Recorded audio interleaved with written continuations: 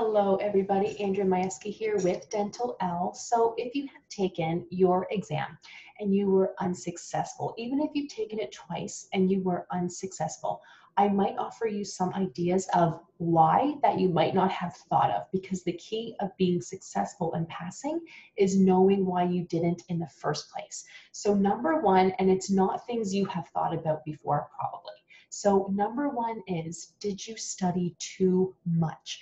There is such a thing. If you're studying eight hours every day, your brain can't handle that much info. Plus, if you don't remember as much as you think you should after that eight hour like study cramming session, you get anxious, you get upset that will you know follow on the next day and you're thinking okay well i, I have to study nine hours today because obviously eight hours yesterday did nothing because i don't remember a thing.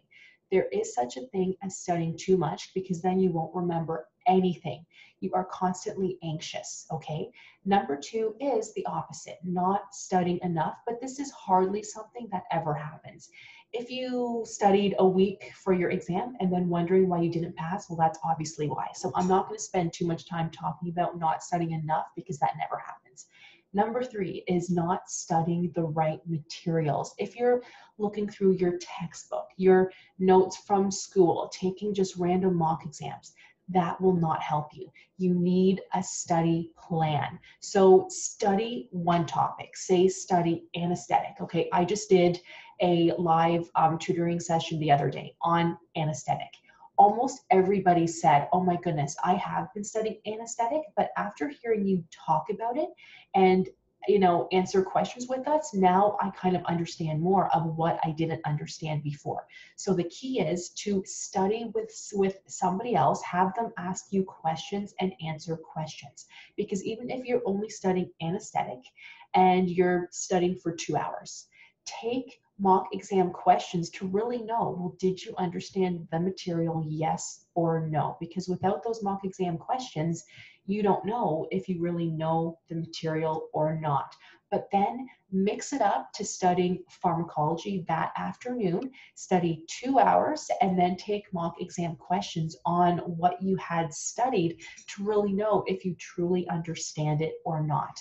Do not just study anesthetic all day long because you will get tired, you will get bored, you will get anxious because you don't know any of what you just studied, and that's not helping anybody. So mix it up. That is another tip taking it kind of a step back a little bit is making sure to study organized. So if you're part of any of my courses, you will see that you will have modules to look through. Study module one, one day, two days, um, three days. It doesn't matter how long it takes you, but study module one entirely. So you know, okay, I can cross that off of my list and now I do understand it because there are always mock exams and case studies after every module.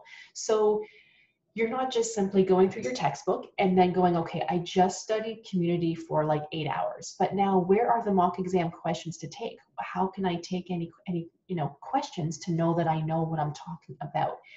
You can't just make them up, okay? Because if you make up those questions, you don't really know which ones to ask, right? So I can help you. Let me know if you need help. I have tons of mock exam questions, case studies, all of that inside my course. Plus, we meet every Sunday or Monday for 45 minutes to an hour usually and and and talk about one topic a week. Last week we talked about anesthetic this week, we're talking about community. So you have a chance to actually study from the modules and then come on with me where I like recap everything. So I, I tell you what you have to know, what you don't necessarily have to know, and then we do mock exam questions and answers and case studies. Plus there's time to ask any any you know questions. So that's organized studying at its finest. If you're not organized, it will be a lot harder to pass. I'm not saying you won't pass, but it's a lot harder to pass because if you haven't passed before, you don't really know where to start to pass the next time. So let me help you. All in all, you guys don't get discouraged. It happens. That's why you have multiple times to take the exam because people do fail. But don't study the same way you studied the first time because you probably won't pass again you might need some extra help, and that's okay. There's no harm in that. So, everybody, good luck. Let me know if you need any other help, and I'll see you in the next one.